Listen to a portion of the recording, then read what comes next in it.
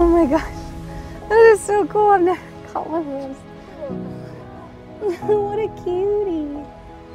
Little puffer baby. All right, let's let him go. Okay. So, to all new fishermen, there's something that can happen to a fish when the fight was long or hard.